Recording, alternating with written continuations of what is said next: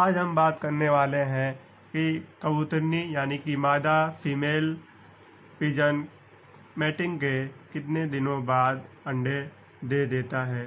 तो दोस्तों, सबसे पहले हमें ये जान लेना ज़रूरी है कि अगर आप एक नर और मादा यानी कि एक फीमेल और मेल लेके आते हैं और उनका जोड़ा लग जाता है तो उनको उनको अंडे लेने के लिए सबसे पहले ये ज़रूरी होगी वो मैटिंग करें। मैटिंग के कम से कम अगर उनकी मैटिंग हो जाती है तो मैटिंग के कम से कम सात से दस दिनों के अंदर वो अंडे दे देंगे।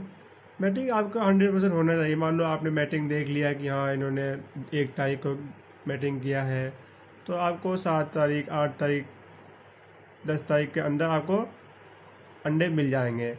या मादा एक बार में दो ही अंडे देती है? दोनों अंडे एक ही दिन नहीं देती।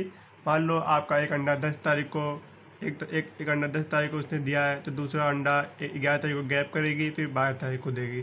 मतलब तीन दिन लग जाएँगे। एक दस तारीख को या फिर एक बारह तारीख को अंडे देगी। तो फिर उसके बाद वो अंडों पर बैठना शुरू कर देगी।